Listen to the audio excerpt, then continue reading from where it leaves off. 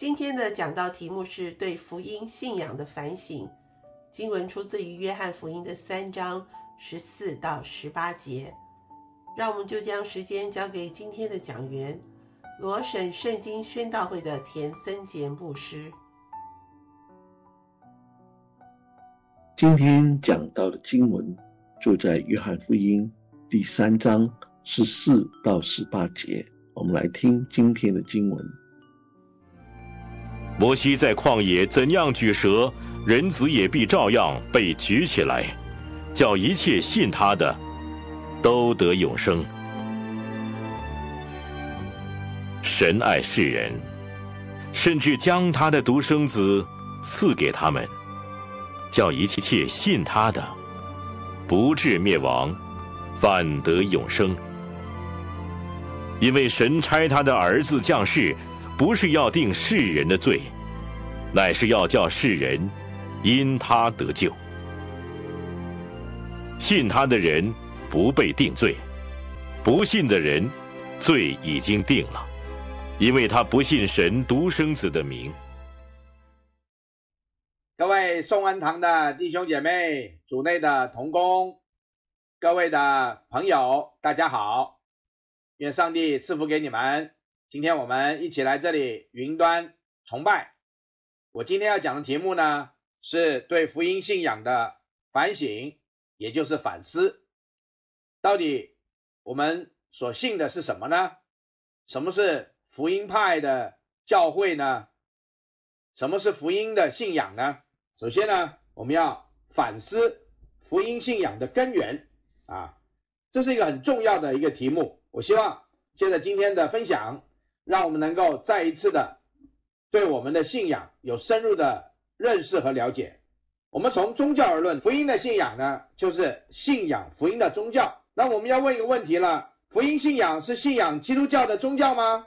我们来看一看维基百科里面怎么样对基督教的宗教呢做了一个定义。这里说呢，基督宗教即广义上的基督教，是公元一世纪起源于西亚的。巴勒斯坦地区的一神论宗教信徒称为基督徒，他们相信当时一位具有权威的犹太人耶稣是神之子及基督，更是全人类唯一的救主，亦即是希伯来人期待的弥赛亚，就是救世主啦。其与伊斯兰教、佛教并列为世界三大宗教，也是世界信徒人数最多的宗教。那么，基督教在历史的发展下，分为多个宗派，包括天主教、东正教、新教等三大分支。基督教的大部分思想和信仰实践源自犹太教，包括一神论、弥赛亚、祈祷、宗教典籍、祭司职分等等。这是维基百科对基督教的定义啊。那讲到的啊，基督教作为宗教来讲，与伊斯兰教、佛教。成为三大宗教，但是是全世界信徒人数最多的啊。基督教呢，它又列为了天主教、东正教和新教。那我们又要问一个问题了：那福音信仰是信仰犹太教的宗教吗？从宗教来讲啊，它是基督教。那基督教呢，有的时候要搞清楚到底是东正教还是天主教啊，还是新教。这里维基百科又说，无论是啊基督教。天主教、东正教还是新教，都是源自于犹太教。那么犹太教属不属于我们的这边所讲的福音信仰呢？福音信仰虽然出自于犹太教，但不是犹太教啊。福音信仰虽出自于基督教，但大家搞清楚，却不是天主教与东正教。福音信仰虽然被世人看似好像是世界的一大宗教。但是这今天要告诉大家很重要，但却不是宗教。那不是宗教，那是什么呢？我们要从信仰而论。宗教信仰啊，宗教有仪式，有经书，有信众、信徒，有教堂、礼堂或是一个庙。但是我们今天所要讲的，在福音信仰的反思的时候，我们的重点不是摆在宗教，是摆在信仰。从信仰而论是。信仰福音，哎，愿福音信仰吗？那么到底福音信仰是信仰什么呢？就是福音，很简单。那什么是福音呢？Evangelion，在希腊文，Evangelion 的意思呢，就是好消息啊。这边呢，以前的罗马军打仗，到了地方，征服了一个地方，他们就宣告这地方呢，已经呢归于罗马帝国所掌管了，因为打胜仗了。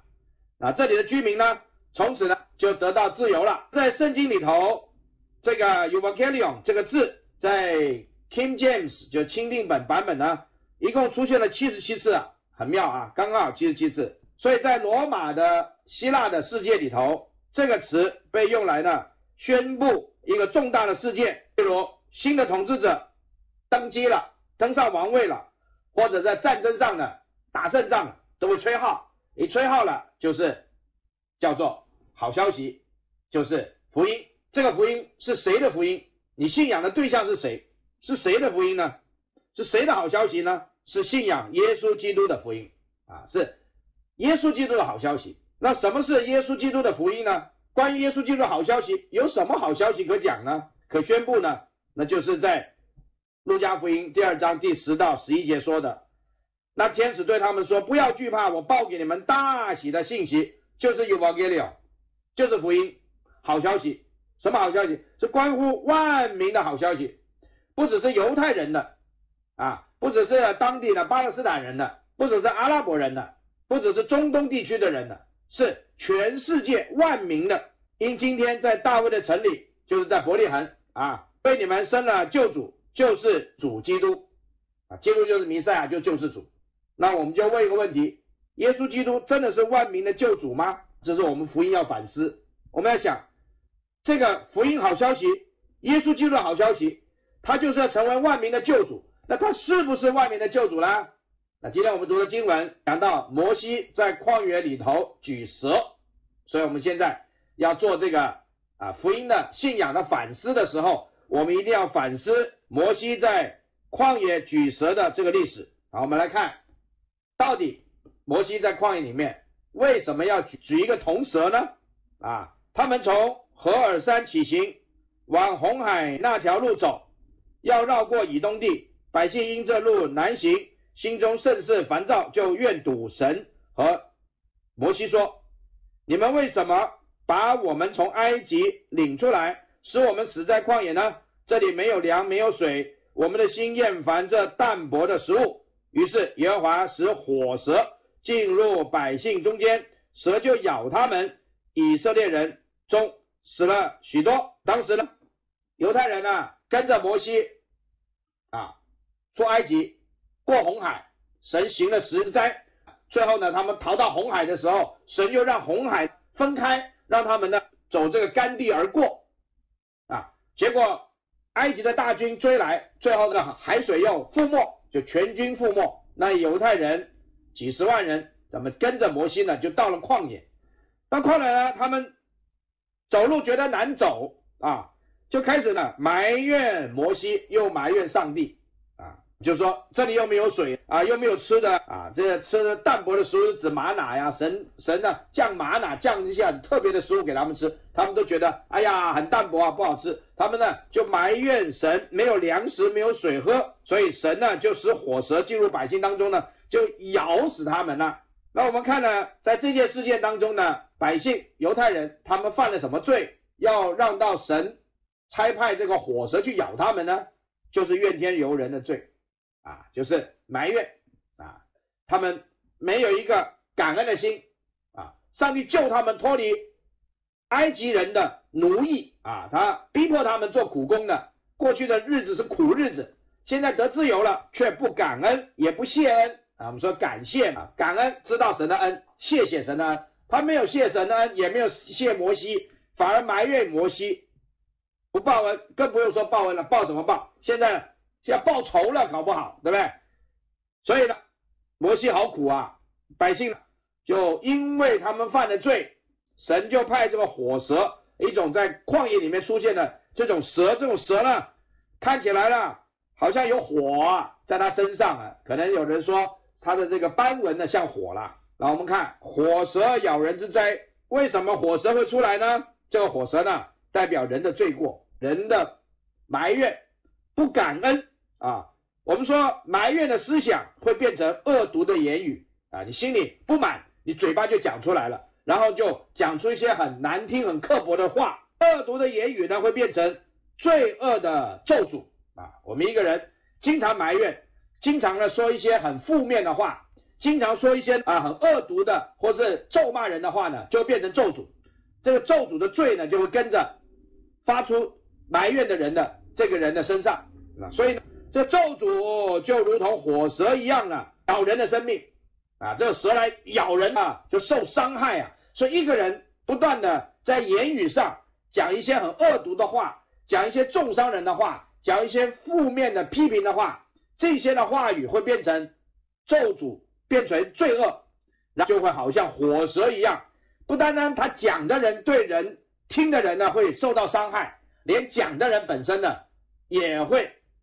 像火蛇一样在伤害啊，对他发出伤害，所以你没有感觉到那些哇心中好多苦水的人呢，好像受了好多伤害一样啊。一些有些人讲话呢都是很恶毒的，一听呢就觉得他他好像受了好多伤害一样啊，有一种受害者心态，对不对？有的时候他不一定人家去害他，但他觉得是人家在害他啊，他就开始看什么都不满了，他嘴巴所讲出的话。都是伤害人的话啊，这就是火蛇的这个象征的意义。第二，火蛇代表肉体的情欲。你看以这些以色列人埋怨什么？没有水喝啊，哦，这个玛瑙不好吃啊，没有粮食啊。可见呢，人的欲望啊，就好像火蛇一样啊。你看这个蛇，这个蛇可以把一个鳄鱼给吃掉，鳄鱼可以吞下去。你想这个蛇一条细细的，它嘴巴那么大。把整个鳄鱼吞下去以后呢？你看，把肚子变那么大啊！这个蛇真是厉害啊！这象征着我们的肉体的情欲像无底坑一样，我们的欲望是永远不能够得到满足的。所以我们说是邪情私欲嘛。我们有很多的私欲，私欲怀胎就生出罪来，罪既长成就生出死来。这雅各书说的。所以我们看到这个火蛇，就是代表着我们肉体的欲望。情欲，火蛇也代表撒旦的攻击啊，因为在启示里面讲到呢，大龙就是那古蛇啊，有些圣经译本呢把呃大龙译成呢大魔蛇啊啊，其实就是一啊一个恶兽，名叫魔鬼，又叫撒旦，是迷惑普天下的。他被摔在地上，他的使者也一同被摔下去。所以这个蛇象征着魔鬼撒旦的攻击，因为人有罪，人有埋怨。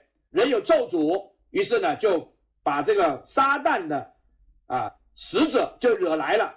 魔鬼撒旦的使者呢，最喜欢的就是追踪那一些身上带着罪的人啊，带着欲望的人啊，带着仇恨的人，带着这个埋怨的人啊，那就像蛇一样就来了。我们看呢，在这个事件当中呢，这些人啊就来求摩西，求摩西呢赶快向神祷告吧。那神摩西就向神祷告，神就有怜悯。就叫摩西呢打造一只铜蛇，所以百姓到摩西那里说：“我们愿赌耶和华和你有罪了，求你祷告耶和华，叫这蛇离开我们。”于是摩西为百姓祷告，耶和华对摩西说：“你制造一条火蛇，挂在杆子上，凡被咬的，一望这蛇就必得活。”摩西便制造一条铜蛇，挂在杆子上，凡被蛇咬的。一望这铜蛇就活了。我们看呢，这是铜蛇的拯救之恩。我们就问一个问题：为什么神要摩西打造一条铜制的火蛇呢？神不是吩咐以色列人，吩咐在律法上不可以啊做任何的偶像吗？那摩西的这个铜蛇是不是一种偶像呢？那与亚伦的金牛犊？有什么不同呢？啊，大家注意了，啊，实践里面告诉我们是不可以造任何的像来敬拜神啊，把那个像当做神来拜，为神来造这些偶像啊。那我们现在来看，那这个铜的火蛇，耶稣说，摩西怎么样在旷野里面举这个铜蛇呀？那同样人子也被举起来，那不是你这个蛇好像也是在。象征着神的儿子吗？那是不是一个偶像呢？这个是一个很好的问题啊。在这边呢列一个表呢，我们做个对比。亚伦的金牛犊呢是偶像，摩西的铜火蛇呢是表象。这表象呢不是偶像拿来拜，而是呢借着这一个铜蛇来预言将来的救恩，神的儿子的来到啊，旨意不同。亚伦的造出来的金牛犊是听从百姓的旨意，这百姓要亚伦来做。那铜火蛇呢？是摩西听从神的旨意啊，是神要摩西做的，旨意不同，材料不同。金牛犊是百姓捐出来的首饰耳环啊，金耳环首饰，但是铜火蛇是摩西拣选的铜器，是贵重的器皿。目的不同，百姓以金牛来代替神啊，那就是拜偶像。但是铜蛇呢，是神以铜蛇来代替罪，让人看了这个铜蛇就知道是我的罪。惹了这个火蛇来了啊！这个铜蛇让他们想起了这个火蛇，想起他们的罪啊！你认罪，你就忘这个蛇。功用不同，金牛使人拜偶像而离弃神，那么铜蛇呢，使人悔改而归向神。你望这铜蛇就是悔改啊！但是金牛犊不是，你望这金牛犊，你是在敬拜敬拜偶像啊，对不对？结果不同，拜金牛犊的三千人被杀，但是凡望火蛇的人呢，都得救了。象征不同，金牛犊象征撒旦的权势啊，铜火蛇呢就象征基督的救赎，因为耶稣基督也同样被举起来。祷告不同，摩西呢求神不要灭绝百姓，当时上帝很怒气，就要把整个百姓都毁灭，但是摩西的代祷啊，就让百姓呢没有全部被杀。那这里呢，铜火蛇呢是摩西为百姓求神使离蛇离开，是百姓来求摩西。为他们代祷啊，所以啊，祷告不同。好，我们再来看这个咬死人的火蛇与医治人的铜蛇啊，有什么分别呢？我们说是 from kill to heal。那我又啊列一个表和大家分享，一个火蛇，一个是铜蛇，蛇源不同啊。这个活的蛇呢是夺人命，但是死的这铜蛇呢却救人的命。主灵的教训是说，罪是活着的话。人就会死了，那么这铜蛇代表呢，最死的人就活了啊，对不对啊？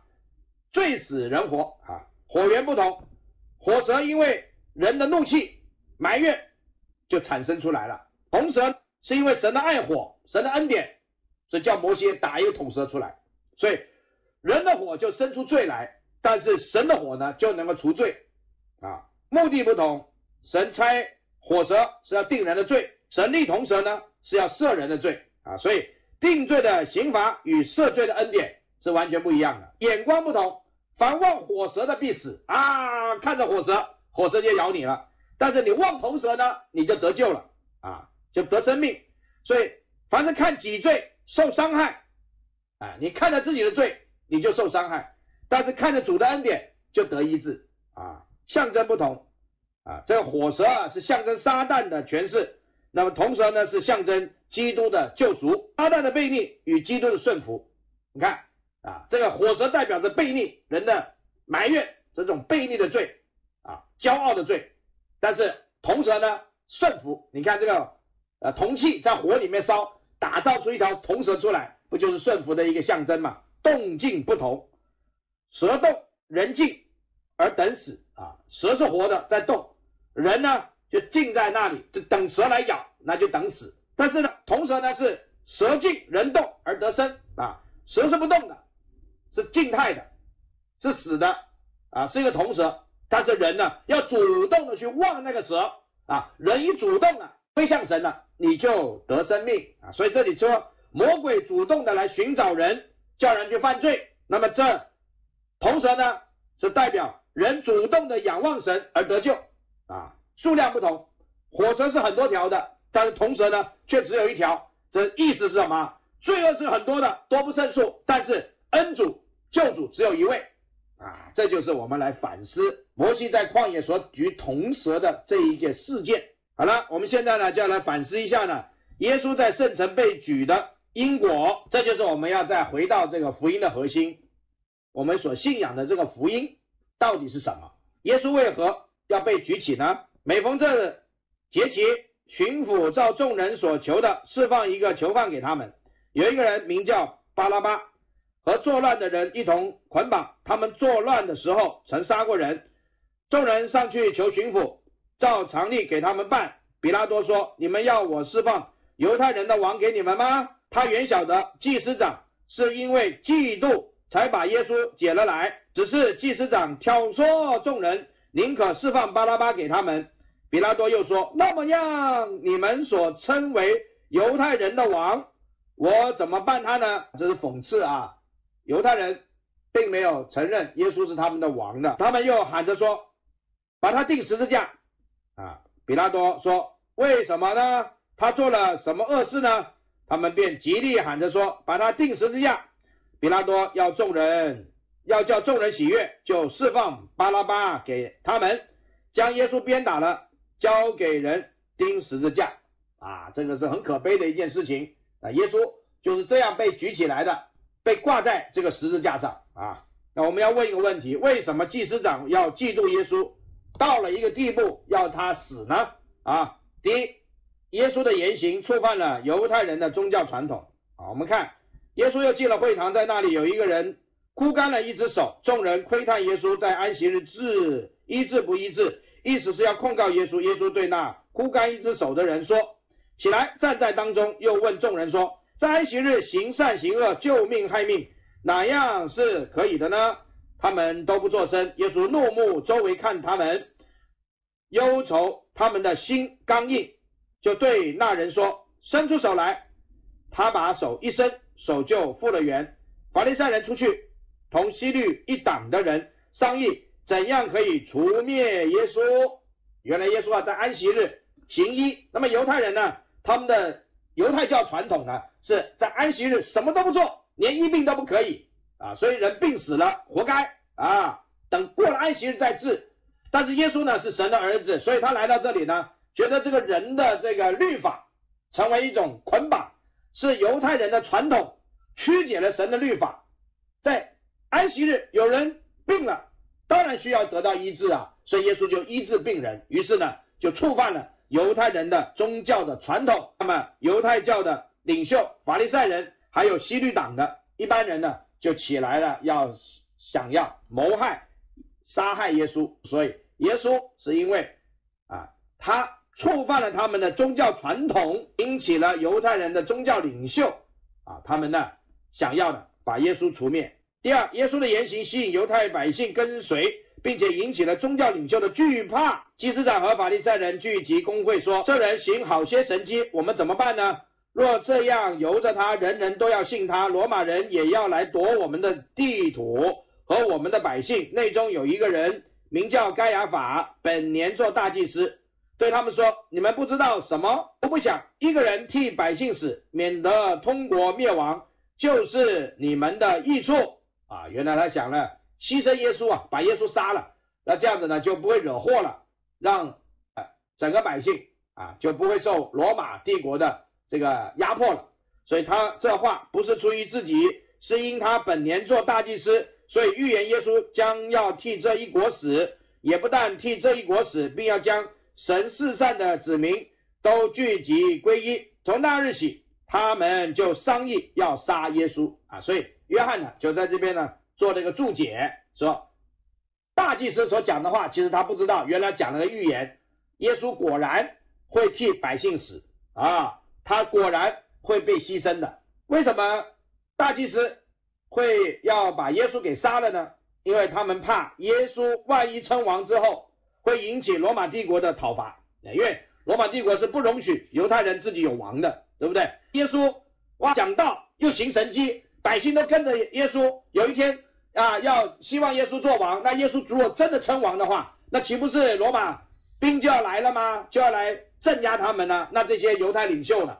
这些犹太人的这些宗教领袖就很害怕啊。第三呢，啊，耶稣揭露了宗教领袖的罪恶，并且阻挡了他们的财路，因为这一些宗教领袖并不是敬拜神虔诚的人，他们的心啊，其实呢是很多邪恶的。所以耶稣到了圣殿以后呢，就看到他们呢在圣殿里面做买卖，所以他们来到耶路撒冷，耶稣进入圣殿，赶出店里做买卖的人，推倒兑换银钱之人的桌子和卖鸽子之人的凳子，也不许人拿着器具从店里经过，便教训他们说：“经上不是记着说，我的殿必称为万国祷告的殿吗？你们倒使他成为贼窝了。”祭司长和文士听见这话，就想法子要除灭耶稣，因为他们。呃，就是靠这些来赚钱的啊，却又怕他，因为众人都吸取他的教训啊，所以这些犹太人的领袖借着圣殿谋利，在耶稣呢把牛羊鸽子都赶走了，然后揭穿了这些宗教领袖的黑暗，所以呢，他们要把耶稣给杀了。那我们现在呢，又来到一个问题，那么耶稣是被谁举起的呢？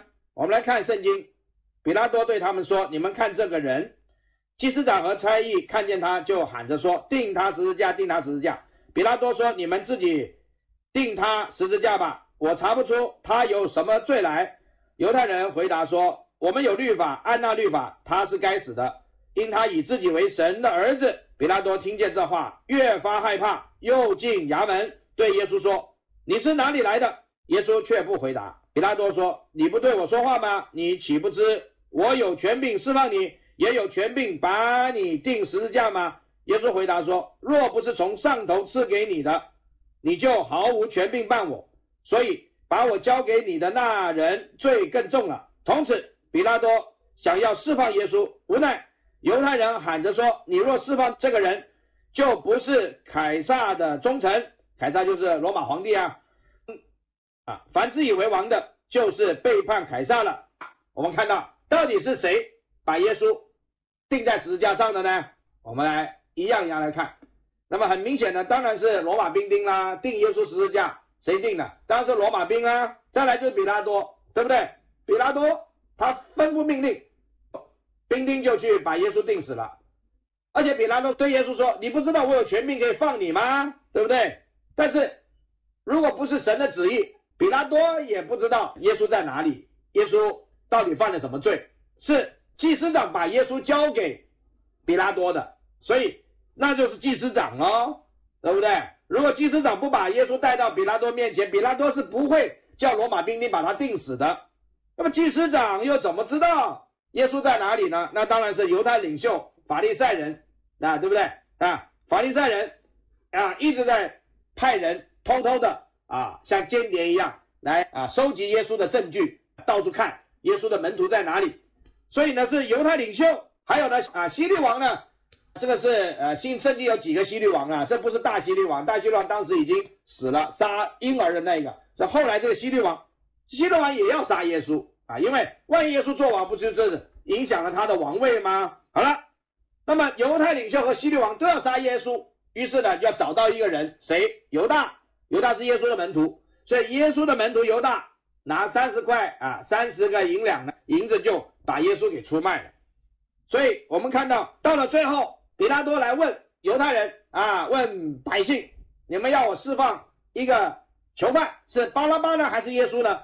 就比拉多并不想把耶稣定死，因为他耶稣没有罪嘛。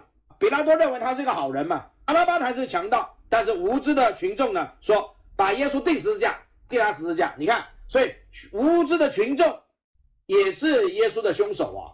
所以我们看了。一二三四五六七，好像都是有份，都是凶手把耶稣钉在十字架。但是我们先来看看呢，第八是不是耶稣自己呢？耶稣怎么说？没有人夺我的命去，是我自己舍的。我有权柄舍了，也有权柄取回来。这是我从我父所受的命令啊。所以是耶稣自己。他说，如果不是我把自己的命舍了，谁能够来定我十字架呢？对不对？谁能够捉拿我呢？所以耶稣是自己舍的，他有这个权柄，把这个命舍了。所以是神的权柄，是耶稣自己权柄，不是比拉不多的权柄，对不对？呃，当然也不是刚才所有的啊，这些人都只是一个一个媒体啊，一个工具。那我们就会问一个问题：那那耶稣是不是自杀呢？还是被神所杀了呢？正如犹太人借着罗马人的手把耶稣钉死了，那么。神是不是也同样的借着人的手把耶稣给杀了呢？那这就是我们要对我们的福音信仰的一个反思了。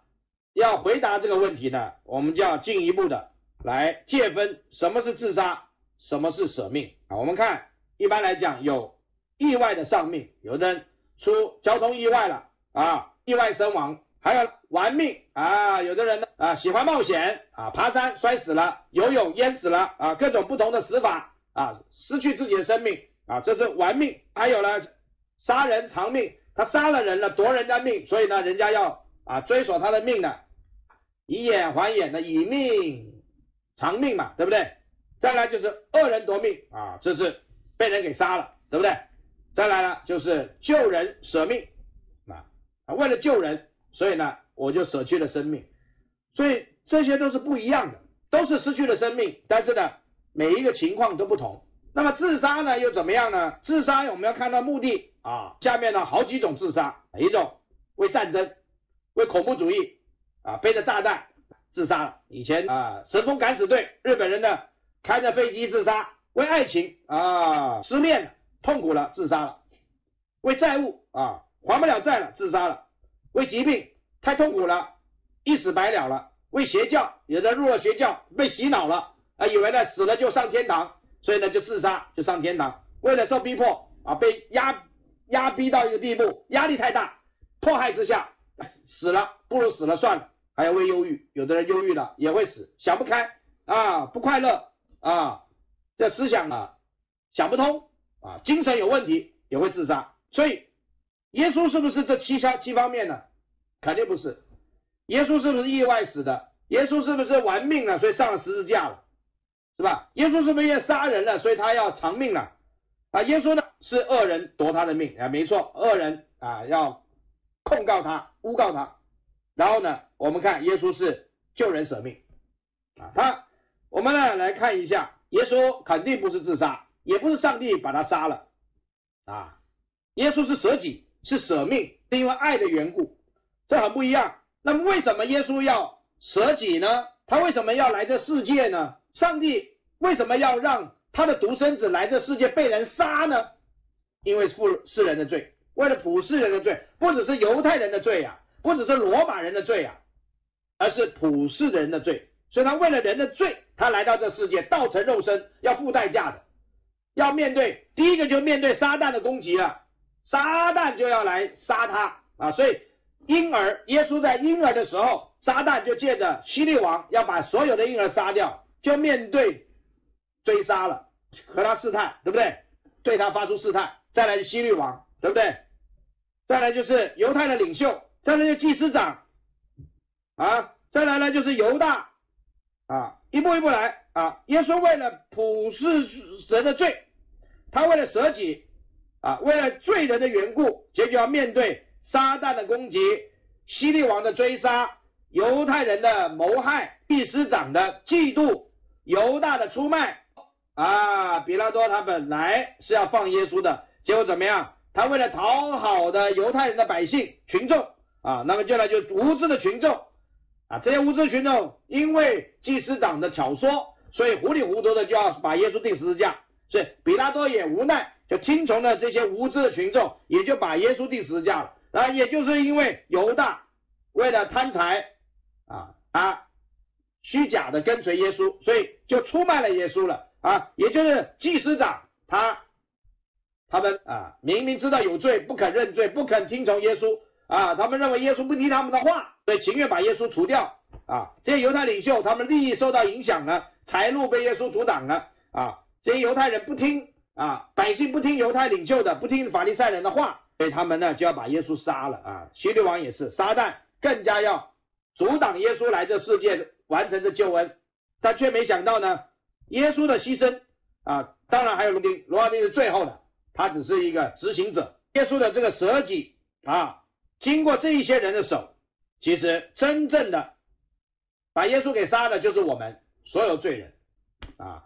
因此呢，耶稣是顺从父命，为人舍命，完成使命，不是自杀，也不是神把他杀了，是我们人的罪把耶稣给杀了。是耶稣舍己，是耶稣的爱，他顺从天父的命令，他舍命，他完成了神托付给他的使命。好，最后我们看呢，耶稣被举后的结果是什么呢？耶稣说：“我若从地上被举起来，就要吸引万人来归我。在人类历史中，从来没有一个人他的死像耶稣一样，能够吸引万人来归向他的。为什么呢？因为他真的是神的儿子，所以唯有他能够从死里复活，唯有他能够驾云升天，唯有他还会驾云再来。这就是我们福音的信仰。所以，福音的信仰不是一个宗教，福音的信仰不是一个教会，福音信仰不是一个相信一个牧师，福音信仰只是相信一位救主。所以。我们不是相信一个宗教，相信一个教会，相信一个牧师，我们是相信耶稣基督，相信救主，他就是圣经所记载的那位神的独生子耶稣基督，为了担当世人的罪而死在十字架上，第三日复活，又再升天。凡相信他救恩的人，罪得赦免，灵魂得救，身体得赎，今生等候他的再来，将来必进入永生的天国。这就是我们福音的信仰。希望我们经过这个福音信仰的反省，好好的思想我们所信的，愿上帝赐福给你。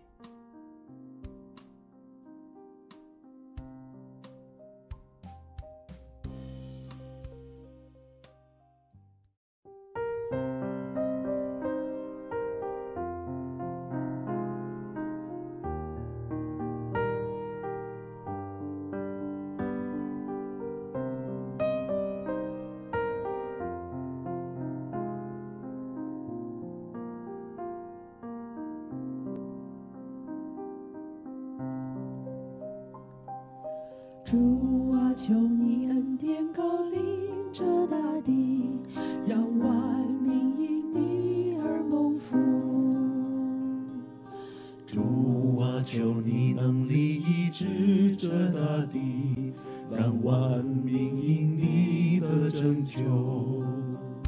主啊，愿列邦万民都归向你，让万民都称颂你的名。主啊，愿列邦万民都归向你，让万民都尊崇。主啊，愿这地万民都归向你，让万民都称颂你的名。主啊，愿这地万民都归向你，让万民都尊崇你的名。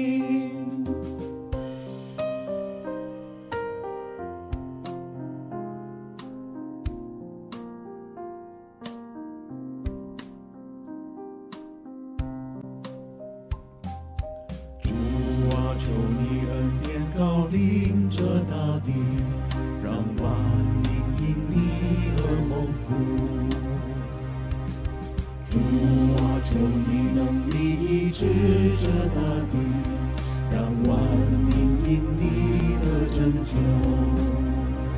主啊，愿列邦万民都归向你，让万民都称颂你的名。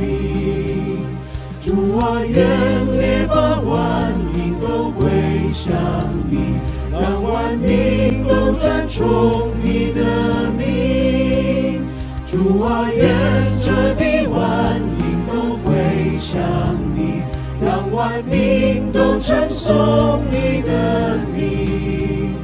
主啊，愿这地万民都归向你，让万民都尊崇你的名。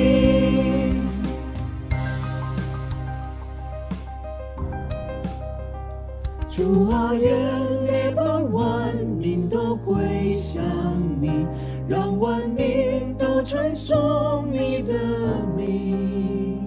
主啊，愿列邦万民都归向你，让万民都尊崇你的名。主啊，愿这地万民都归向你，万民都称颂你的名。主啊，愿这地万民都归向你，让万民都尊崇你的名，让万民都尊崇你的名，让万民都尊崇。